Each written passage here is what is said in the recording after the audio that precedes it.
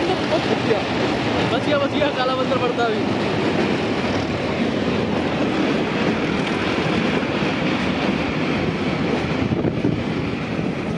वो आएगा देख देख उधर दिख रहा है वो बहुत गहरा ब्रिज रहा है